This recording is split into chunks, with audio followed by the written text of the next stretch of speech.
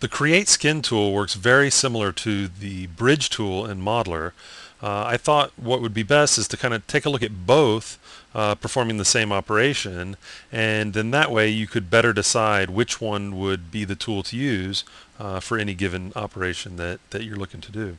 So what I did was I went ahead and created two shapes. I've got this flat star and I've got this flat disk and what we'll do is we'll run create skin on it and it, what it'll do is it'll bridge the two pieces together.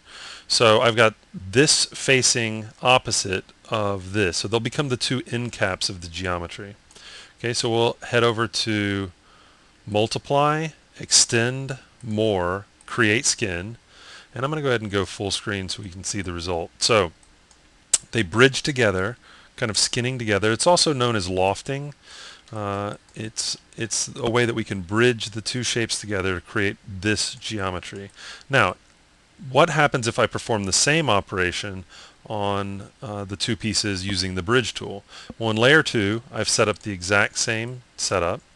And what we'll do is flip these so that they're facing each other.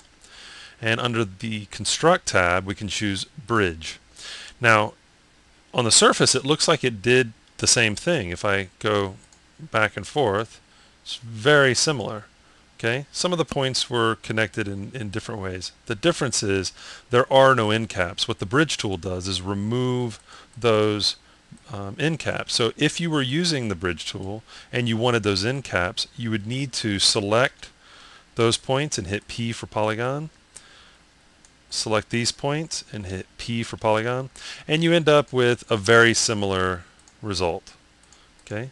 Well, what what if it wasn't flat geometry? What if we had two 3D pieces of geometry? They were extruded flat pieces, and I selected these two faces and I wanted to skin them. Well, we saw the result of skinning the, the flat shapes, so we pretty much know we need to flip these polygons. And I'm going to come over to the Multiply tab and choose create skin. So it bridges those together except if we look down here we can see that it has the the two polygons. They're still there. They still remain. So you would need to because you really don't want geometry on the inside. It doesn't it doesn't serve any purpose. Uh, so we would hit delete. If we come over to the next layer I've got the exact same thing set up and I select these two polygons and we saw with the bridge tool they should be facing each other uh, if we come over to construct and choose bridge, it bridges them together except there's no extra geometry. Those, those faces aren't there. It removes it. So uh, in my opinion, if you're going to bridge 3D shapes together, the bridge tool looks like it could be the option to go with. And if you're going to bridge flat pieces of geometry, geometry together, I would suggest to use the Create Skin tool. Let's look at a couple more examples come over to layer 10 here, I've got a, uh, a pair of sub-patched boxes. They're just two boxes, hit tab, we've got uh, sub-patches now. And if I select these two polygons and use create skin, it gives me an error. It, it doesn't know what to do with sub-patches. Okay, so I'll hit OK, deselect, tab, select the two polygons, uh, come over to more, create skin. It bridges them, but it actually, you can see the crossing lines here. Even if I delete these two polygons and hit tab and let me flip these polys, um, it spins them and makes triangles. So we need to go in and merge. I'm just selecting the two triangles and hitting Shift Z for merge polygons. Or what I could do, let me undo, is select both of them and use what I would suggest is the proper tool for this job, construct, bridge, and now we have the result that we were probably going for in this case. So you'll want to use the bridge tool when working with subpatches. Uh, and there's one more thing I wanted to show, and this is working with uh, curves or splines. So we'll come over to layer 3, and let's just create a couple curves and I'm gonna use the drag tool to kind of move those points out and let's use let's do another shape select it, T for move, I'll move it back here, copy, paste, and I'll move it here.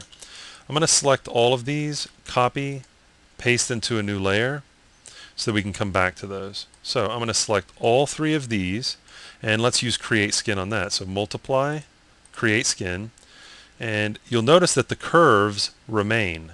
Okay, I'm going to go ahead and cut those. We'll paste those in another layer so we can always use them again. And we'll flip uh, the polygons that are there and go to texture. So in this case, it doesn't put end caps because there were never end caps to begin with. It's the equivalent of extruding a curve. It wouldn't put end caps on there. But we've bridged this together and uh, we could always select P for polygon, flip, select P for polygon, and in this case we don't have to, to flip it. Okay, so this is using the create skin tool. If we look at the curve and we put the, the shape in the background, we'll see that the, the skinned elements, the bridged polygons that were created, match the shape of the curve. If we select the same splines or the same curves and we use construct bridge. Now in this case uh, it didn't grab that other one. Let's back up. I've got let's let's select them one more time to make sure. So I've got this and I'm going to go bridge. As you can see it's only going to work with the first two curves. Okay. The other thing that you'll notice is we lose the splines. There's no, uh, there's this one because we, we didn't it didn't take advantage of that one. We use the splines and it didn't give us the smooth curve shape, right? If we compare the shape in layer 3, it freezes, it converts the spline into polys and then performs the operation, whereas if we wanted that smooth curve, we would need to select this geometry and hit tab for subpatches to then get the exact same shape that we're getting when we use create skin. Okay, so these are just a few examples to, to hopefully explain how create skin works and when you might want to use it over the bridge tool. But it's good to know that we've got both options and we can use um, the tool that works for the, uh, the operation that we're looking for when creating our model.